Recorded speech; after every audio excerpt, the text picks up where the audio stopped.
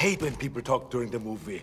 Hello, citizens of Gotham. Prepare to be chilled to the bone. Today, we embark on a frigid journey into the world of one of Gotham City's most captivating villains, the one, the only, Mr. Freeze. With ice coursing through his veins and a frosty fury in his heart, Mr. Freeze brings a chilling presence to the Batman universe. This icy antagonist has captivated the imaginations of nerds far and wide ever since his unforgettable debut in the legendary Batman the Animated Series. We're diving headfirst into the depths of Mr. Freeze's mysterious world to uncover the secrets behind his signature shiny suit and his infamous ice gun. Since childhood curiosity, we've all pondered what this chilling mastermind is truly capable of. In this video, we'll shed light on the incredible technology devised by this evil genius. So brace yourself as we unravel the icy mysteries of Mr. Freeze. Now, before we go into our video, we have a very small request. If you like our content, please support us by subscribing to our channel. This is just a small click for you, but for us, it means a lot. Thank you. Now let's begin.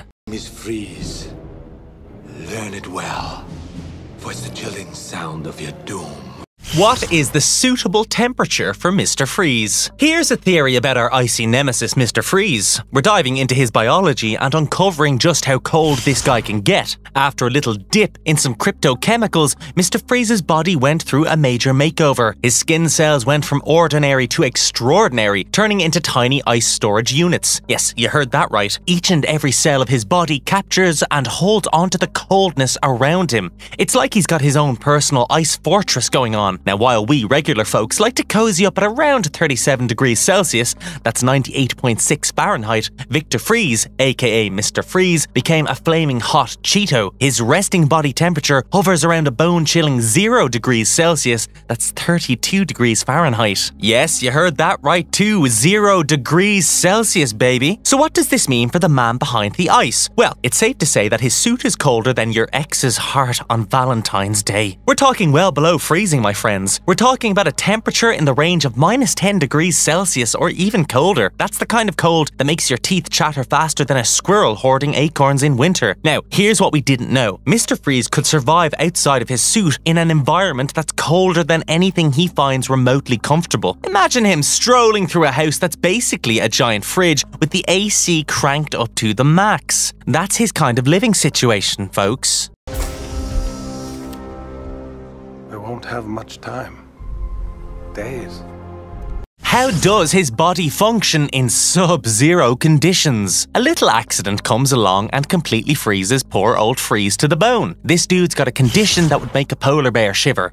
His whole genetic makeup has gone haywire, transforming him into a cold-blooded mutate that would even give Jack Frost a run for his money. But here's where things get really cool, literally. His altered biology has turned his skin cells into cozy storage units for the cold. It's like he's got his own private ice hotel going on under his skin, and you know what? That icy setup helps his body chemistry stay comfortably chilled. So what does this mean for our frosty friend? Well, it means he's immune to the freezing bite of sub-zero temperatures. He's adapted like a boss. He's got the superpower to thrive in the coldest of cold, where most of us would turn into human popsicles faster than you can say ice cream truck. He's the king of sub-freezing temperatures, strutting around like he's on a winter vacation in the Arctic. Winter How can he survive in normal temperatures? So here's the deal. Mr. Freeze isn't exactly a fan of warm hugs and sunny days. He's all about freezing temperatures. In fact, exposure to regular heat would make him about as comfortable as a snowman in a sauna. So to keep his existence going strong, our icy villain can only venture out of his igloo when he's decked out in a special containment suit that keeps his body as cold as the North Pole. In the early days, Mr. Freeze's suit was nothing more than a walking fridge with a big old dome-shaped helmet. Breaking that suit and getting him all warm and cozy was the key to defeating him. But as time went on, Freeze got wise to the whole weakness in the suit thing. He upgraded that bad boy into a fully fledged suit of armor, thick enough to withstand fists, bullets, and whatever else Gotham City's finest could throw at with him. But that's not all. This suit of his isn't just for protection, it's also an exoskeleton, giving Freeze the kind of strength that would allow him to punch Batsy through the roof. His arms and legs pack an icy punch, making him an even bigger challenge for the Dark Knight to handle. Did you know? Freeze's cryo suit proved its worth when it shielded him from a bomb attack by some henchmen of the ventriloquist. But as luck would have it, a pesky sniper managed to land a direct shot on the helmet's glass, causing a nasty leak. The pressure went haywire and the suit's temperature soared to normal levels. So, fellas, that's the lowdown on Mr. Freeze's icy attire. It's a combination of protection, strength, and an unfortunate vulnerability to well placed shots. Can Mr. Freeze survive without his cryosuit? You see, after that not so fun accident, Victor Fries found himself in a bit of a predicament. He needed his trusty cryosuit to survive in anything other than sub zero temperatures. It was like his own personal walk in freezer, keeping him cool as a cucumber. But guess what? The story took a turn. Enter the genius mind of Lex Luthor, who decided to lend a helping hand to our frozen friend. Luthor cooked up a special serum using some crazy experiments from the first Bizarro promising to revive Nora, Mr. Freeze's beloved wife. Now, being the scientist that he was, Freeze wasn't about to jump headfirst into the serum without running some tests first. He unleashed the power of science on animals and even kidnapped a few ladies to check out the serum's effects. Yeah, not the most ethical approach, but hey, desperate times call for frosty measures. The serum showed some serious potential, but it wasn't without its quirks and side effects. Freeze, being the perfectionist he was, was determined to fix those before using it on his wife. Now, here's where it gets really cool. Freeze used his mad scientific skills to harness the power of nanotechnology. With a little technological wizardry, he managed to overcome the serum's weakness to temperatures above freezing. Now, he no longer needs to be confined to the cryo suit of his. It's like he leveled up and gained a whole new thermal resistance power up. Slick as ice, Batman. But I won't need to see you when you're buried. Can he shoot ice beams from his hands? Mr. Freeze, with his scientific genius, created the ever popular freeze ray gun that could even give Elsa from Frozen a run for her money. This bad boy can produce gusts of wind that would make your teeth chatter, reaching temperatures that dip below absolute zero. Freeze's freeze ray gun has more tricks up its frosty sleeve. It can coat objects in a solid block of ice, conjure up icy constructs that look oh so cool, and even encase his opponents in a frosty cocoon that leaves them frozen in their tracks. Now, here's a cool tidbit for you. In the early days, his freeze ray gun was actually connected to the boots of his trusty cryo suit. That suit provided the energy he needed to activate the gun. It was like a power duo of freezing proportions, keeping Mr. Freeze armed and dangerous in his quest for cold chaos. However, Mr. Freeze isn't just a guy with a fancy freeze ray gun. Sometimes he can freeze objects and people with just a touch of his skin. Yeah, you heard heard that right. Imagine shaking hands with Freeze and finding yourself with a serious case of the chills. In one iteration, the new 52 version to be exact, Freeze demonstrated his powers by freezing a water pipe underground and even Robin's arm. And in certain versions, Mr. Freeze can shoot icy beams from his hands, turning everything in his path into a winter wonderland. Take the version of Freeze from the Batman, for example. In the Big Chill episode back in 2004, Victor Fries went from small time crook to cryogenic powerhouse after an accident. In this iteration, he could generate cold around him without needing a refrigerated suit. The suit was merely there to contain his powers and allow him to unleash those epic ice beams from his hands. Ice powers on demand.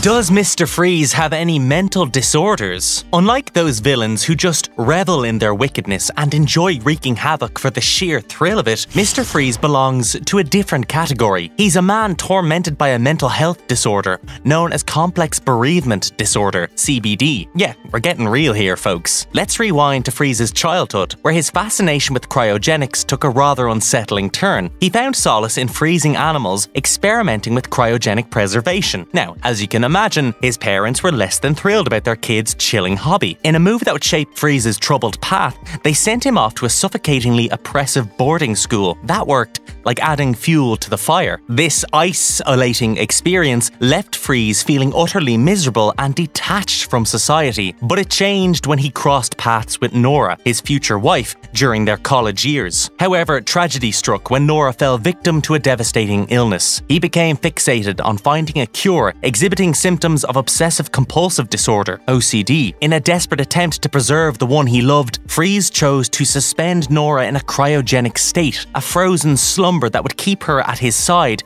yet eternally out of reach, and thus complex bereavement disorder, CBD, also known as complex grief and prolonged grief disorder, PGD, took hold of Freeze's shattered soul. CBD is like mourning on steroids, a profound and pervasive grief that seeps into every nook and cranny of the sufferer's life. How intelligent is he? Mr. Freeze is not just a master of icy weaponry and cryotechnology. Oh no, he's got a mind so brilliant it could give Lex Luthor a run for his money. Victor is a scientific prodigy of epic proportions. His brain is like a high-tech supercomputer, equipped with knowledge that spans various fields of scientific inquiry. Physics, engineering, genetics, computer science, chemistry, and medical science are all mere playgrounds for this icy genius. Seriously, his intellect could go toe to toe with even the likes of Apocalypse. That's how impressive we're talking here. Now, Freeze isn't just a run of the mill scientist. No, no, no. He's a remarkable medical researcher with a keen focus on the pathology and neuroscience of his beloved Nora's neurological illness. The man has dived deep into the depths of cryonics, exploring the mysteries of suspended animation and the potential for immortality. In fact, his groundbreaking thesis on preserving life through frozen slumber is a shining example of his research skills. But we're not done yet. Freeze's brilliance extends beyond his scientific pursuits. This guy is a true linguistic virtuoso, a polyglot with a knack for speaking multiple languages English, Czech, German, easy peasy, Greek, no problem, Latin, a piece of cake. He's a man of many tongues, effortlessly navigating the linguistic landscape like a multilingual maestro. Mr. Freeze, the icy intellectual powerhouse. His mind is a marvel, a wellspring of scientific genius that rivals the greatest minds in the comic book universe.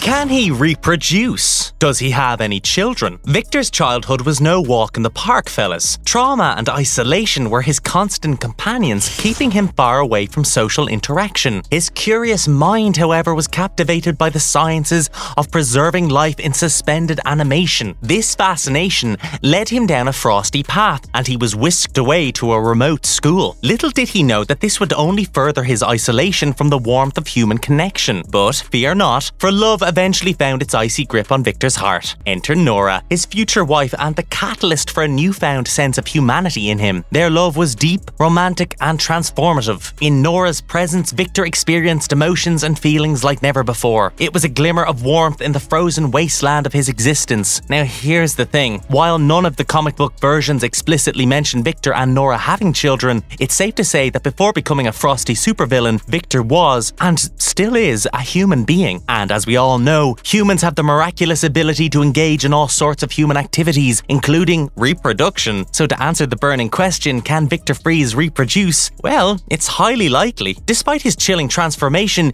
he remains at his core a human with the capacity for regular romantic encounters and, dare we say, the potential for expanding his frozen family. But let's not forget that the comic book can be a realm of ever shifting dynamics and untold stories. The specifics of Victor's parental status may lie shrouded in mystery, waiting to be explored in future tales.